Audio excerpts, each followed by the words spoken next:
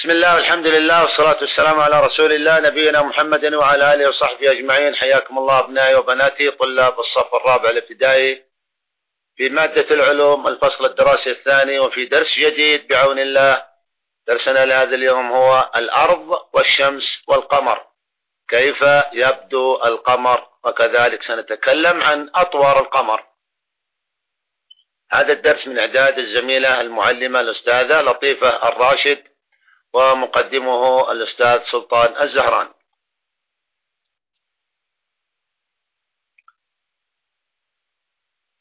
ما شاء الله منظر جدا رائع. منظر ليلي رائع على الشاطئ. أليس كذلك؟ لو نظرنا إلى الصورة فعلا. في إحدى الليالي الصافية. على الشاطئ بجانب الماء. لو تأملنا الصورة التي نراها أريد منكم تسمية بعض محتوياتها. يعني ماذا تشاهد في الصورة؟ أتوقع أنكم ستجيبون على ذلك من خلال رؤيتكم لهذا الجسم الذي نسميه القمر. القمر وكذلك الماء. كذلك الرمل والهواء إلى آخره. لكن أهم ما يميز الصورة عندي هنا هو وجود الماء والقمر. إذا القمر إحنا درسنا اليوم سيكون عن القمر كيف يبدو القمر. قال الله تعالى أعوذ بالله من الشيطان الرجيم بسم الله الرحمن الرحيم. وجعل القمر فيهن نورا. لو رأينا الصورة قبل قليل ما شاء الله تبارك الله كان جدا الجو أو المنظر رائع بسبب وجود القمر حيث انعكس ضوءه على سطح الماء فأعطى منظرا جدا رائع وجميل. فسبحان الله العظيم. الآية مرة أخرى وجعل القمر فيهن نورا وجعل الشمس سراجا. كيف يبدو القمر؟ كيف يبدو القمر. في أكثر الليالي يكون القمر أكبر وأكثر إنارة من الأجرام السماوية الأخرى. في بعض الليالي أو في أكثر الليالي يكون القمر أكبر وأكثر إنارة. أولا أكبر لأنه يعتبر هو الأقرب إلى الأرض. في الليل طبعا إحنا نتكلم في عن القمر أو ظهور القمر في الليل. عادة نرى القمر في الليل. وهو فعلا يكون أكبر جرم سماوي قريب إلى الأرض.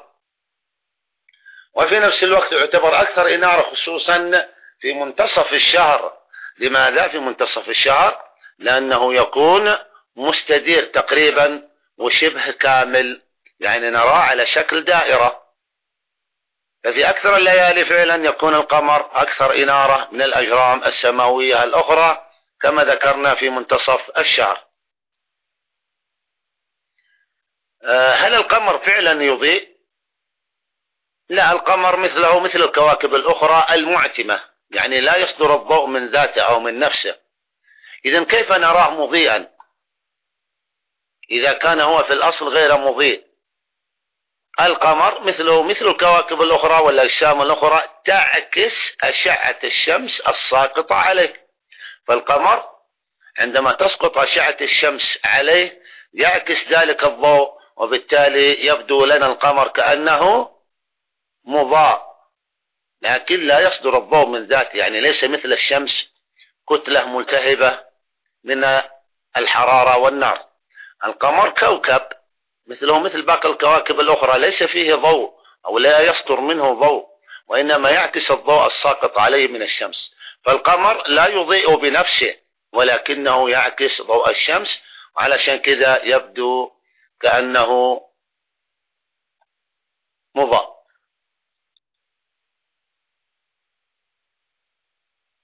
ما علاقة القمر بالأرض؟ كلنا نعلم أن القمر كوكب تابع للأرض. القمر كوكب تابع للأرض يدور حول الأرض ويدور حول نفسه. ولذلك نجد أن القمر هو أقرب الأجرام السماوية إلى الأرض. لأن القمر كما ذكرت تابع للأرض يدور حول الأرض.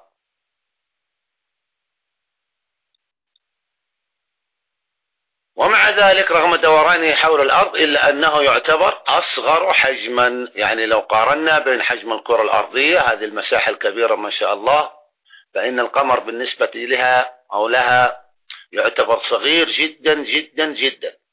فالقمر أصغر من الأرض. تابع للأرض يدور حول الأرض ومع ذلك فالقمر أيضا هو أصغر حجما من الأرض. هل يمكن سؤال يطرح نفسه هل من الممكن العيش على سطح القمر؟ طبعا أنا متأكد يمكن كلكم تعرفون الإجابة. لا لا يمكن ذلك. طيب لماذا لا يمكن؟ لماذا لا يمكن؟ طالما أن القمر كوكب مثله مثل كوكب الأرض. لكن لماذا لا يمكن أن نعيش على سطح القمر؟ لأن القمر لا يحتوي على غلاف جوي أو لا يحيط به غلاف جوي يعني ما في هواء نتنفس. وأنتم تعرفون أن التنفس أو عملية التنفس شرط أساسي لبقاء الكائنات الحية على قيد الحياة. إذا كان القمر ليس له غلاف جوي يعني لا يوجد فيه هواء إذا لا تستطيع الكائنات الحية أن تعيش لأنها ستكون غير قادرة على عملية التنفس. أيضا هناك شرط آخر غير موجود على القمر. وشو هذا الشرط الذي تحتاج إليه الكائنات الحية؟ الماء. الله سبحانه وتعالى يقول أعوذ بالله من الشيطان الرجيم وجعلنا من الماء كل شيء حي. فأينما يوجد الماء توجد الحياة. طيب إذا كان القمر لا يوجد فيه ماء أو ليس عليه ماء هل يمكن العيش على سطح القمر؟ طبعا لا إذا ما دام أنه لا يحتوي على غلاف جوي ولا يحتوي على الماء نقول أن الحياة ستكون مستحيلة على سطح القمر كما أن درجة حرارته جدا هذه النقطة مهمة في الليل تكون منخفضة جدا جدا جدا يعني بارد جدا وبالتالي ستكون تحت الصفر يعني لا يستطيع أو لا تستطيع الكائنات الحية تحمل الانخفاض الكبير في درجة الحرارة. وكما هو في الليل درجة حرارته منخفضة فإنه في النهار تكون درجة حرارته عالية جدا. حتى أنها قد تصل إلى درجة الغليان يعني 100 درجة مئوية. لاحظ إحنا هنا مثلا في الرياض ممكن نتحمل درجات الحرارة تصل إلى 40 50 لكن نستعين بآلات التبريد أو أجهزة التبريد. فما بالك إذا كانت درجة الحرارة على سطح القمر في النهار تصل إلى 100 درجة مئوية التي هي درجة الغليان. إذا أيضا القمر يختلف عن الأرض لأن درجة حرارته نهارا تكون مرتفعة وليلا تكون منخفضة جدا وبالتالي كلا الحالتين لا يصلح لحياة الكائنات الحية. طيب نتأكد مس من المعلومات التي سبقت السبب والنتيجة. لماذا لا يتوقع وجود حياة على سطح القمر؟ يعني لماذا لا يمكن العيش على سطح القمر؟ متأكد أنكم تعرفون الإجابة. لسببين ذكرناها فيما سبق. هما عدم وجود غلاف جوي وماء وهذا جدا مهم قلنا الماء ضروري والهواء أيضا ضروري لعملية التنفس. أيضا ارتفاع درجة الحرارة نهارا وكذلك انخفاضها ليلا. كل هذه الأسباب لا تساعد الكائنات الحية على أن تعيش على سطح القمر. لو تتبعنا مسيرة القمر خلال شهر كامل يعني من بداية الشهر إلى نهايته سنجد أن هذا القمر يتخذ عدة أشكال من حيث الإضاءة وكذلك من حيث وقت الظهور والاختفاء. الله سبحانه وتعالى ذكر ذلك وذكر حركة القمر خلال الشهر. قال تعالى أعوذ بالله من الشيطان الرجيم والقمر قدرناه منازل. لاحظ المنازل اللي موجودة عندي هذا منزل يعني مرحلة مرحلة أخرى منازل حتى عاد كالعرجون القديم. على سبيل المثال ممكن ناخذ بعض التسميات لهذه الأشكال أو هذه الأطوار. لاحظ القمر جزء كامل عندما تسقط عليه أشعة الشمس بشكل كافي يبدو بهذا الشكل اللي هو مستدير كأنه كرة مستديرة. هنا سيعكس ضوء الشمس بشكل كامل بينما هنا يعكس ضوء الشمس أو أشعة الشمس ساقطة على جزء بسيط منه. جزء بسيط ولذلك يبدو على شكل ماذا نسمي هذا الشكل؟ نسميه هلال. نسميه هلال. هذا عادة لاحظوا اتجاه الهلال هنا التقوس إلى الخارج أو على اليمين. هنا هلال نسميه هلال أول الشهر بينما في آخر الشهر يكون شكل الهلال بشكل عكسي معكوس عن هذا الشكل. إذا عندي هلال أول الشهر نسميه هلال. الشكل هذا بينما في منتصف الشهر يكون مستدير بشكل كامل أو يكون واضح أو مستدير بهذا الشكل نسميه كلمة تبدأ بحرف الباء. ها تعرفون؟ أكيد أنكم قد سمعتوا. يسمى القمر إذا كان مكتملا في منتصف الشهر بالبدر بدر. بينما هذا نسميه محاق الشكل هذا لأنه ليس بشكل دائري مكتمل وليس تربيعي كما هذا الشكل. لاحظ ربع أو التربيع الأول إحنا نسميه. هذا الشكل الذي ليس ربع ولا شكل مستدير نسميه محاق. آه، عفوا محدب محدب. أيوة إذا هذا هلال وهذا تربيعي وهذا محدب بينما هذا نسميه بدر. المحاق إذا كان مظلم بشكل نهائي أو مختفي بمعنى أصح مختفي لا نراه يكون دخل مرحلة اسمها مرحلة المحاق. إذا هذا الشكل يعتبر محدب يعني ليس له شكل محدد. هذه أطوار القمر خلال شهر كامل تقريبا من بداية وجوده في المحاق. هذا المحاق لاحظوا مختفي غير ظاهر. طبعا هو موجود لكن لا تصل إليه أشعة الشمس أو ضوء الشمس وبالتالي يكون كأنه مظلم وبالتالي لا يمكن رؤيته. ثم يبدأ في الحركة أثناء دورانه بحيث يتعرض لضوء الشمس عندما يتعرض جزء منه بس فقط جزء بسيط منه نسميه الهلال الأول. ثم إذا تعرض لجزء أكبر لضوء الشمس نسميها التربيع الأول. لاحظ كأنه منتصف أو نصف القمر مضاء بس من جهة وليس من كل الجهات. التربيع الأول طبعا إحنا نسميها التربيع الأول لأنه قد قطع ربع آه الزمن أو الذي أو استغرق ربع الزمن سبعة أيام تقريبا لكي يصل إلى هذا الشكل آه في الليل. ومع مرور الوقت ومرور الأيام يبدأ القمر أثناء دورانه حول الأرض في التعرض لأشعة الشمس بشكل أكبر حتى يتخذ شكل أحدب. وقلنا أحدب يعني ليس له شكل محدد يعني مثلا دائري أو مستطيل أو مربع. شكل غير محدد نسميه الأحدب الأول.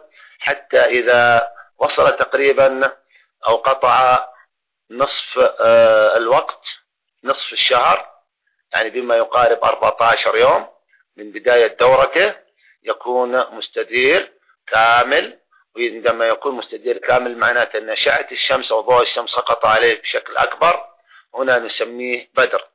ومع مرور الوقت وأثناء دورانه حول الأرض يبدأ يعود مثل ما كان أحدب نسميها الأحدب الأخير ثم التربيع الأخير ثم هلال آخر الشهر حتى يدخل مرحلة المحاق اللي هي نهاية الشهر وبداية ولادة شهر جديد حيث يظهر الهلال مرة أخرى. كل هذه الأشكال لاحظ الأطوار الطور اسم يطلق على شكل القمر المضاء. شكل القمر المضاء يعني هنا على شكل هلال هنا على شكل تربيع هنا على شكل أحدب. ثم أفضل الأوقات اللي هي عندما يكون بدرا أو مستديرا. هذه نسميها أطوار أو أشكال. الطور اسم يطلق على شكل القمر المضاء. ما أطوار القمر؟ تكلمنا عن أطوار القمر وقلنا أن القمر يدور حول الأرض دورة كاملة في زمن مقداره شهر كامل يعني عندنا بالأشهر العربية تقريبا الشهر 29 يوم. الأشهر العربية 29 يوم وعادة أو نادرا ما تكون 30 يوما. خلال ال 29 يوم هذه يكون القمر قد قطع مسافة حول الأرض دورة كاملة. يتغير شكل الجزء المضاء من القمر أثناء دورانه حول الأرض. هذه الأشكال هي التي سميناها الطور أو طور القمر الأطوار. بدر محاق أحدب وهلال. ما المدة الزمنية بين البدر بين البدر يعني شكل القمر أو طور القمر عندما يكون بدرا. متى يكون بدرا؟ قلنا ذلك في منتصف الشهر يعني تقريبا يوم 14 وهلال بداية الشهر يعني يوم واحد في الشهر. ما المدة الزمنية؟ ما بين واحد إلى 14 نستطيع القول أن المدة الزمنية تقريبا هي حوالي أكيد كلكم تعرفون الإجابة الأسبوعين. أسبوعين تقريبا يعني 14 يوم 13 يوم من هون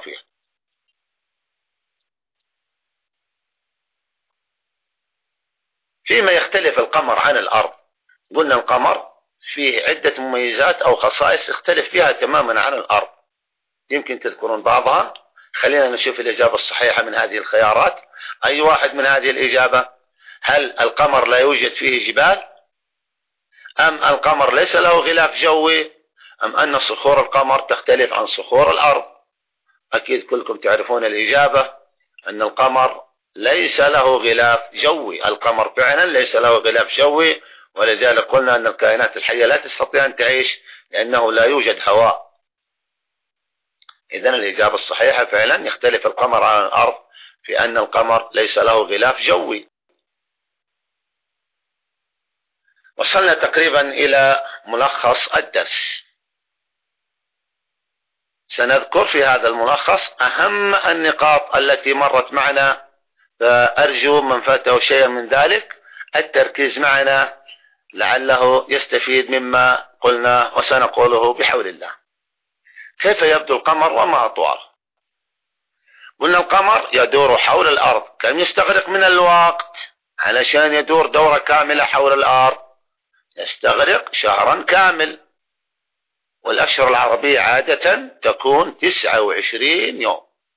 يعني 29 يوم هذا الوقت الذي يستغرقه دوران القمر حول الأرض دورة كاملة.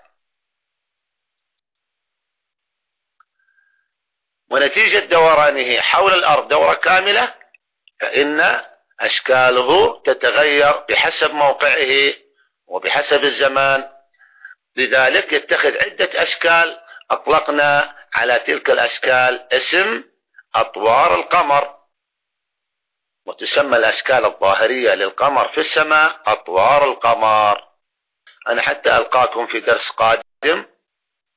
أستودعكم الله. والسلام عليكم ورحمة الله وبركاته.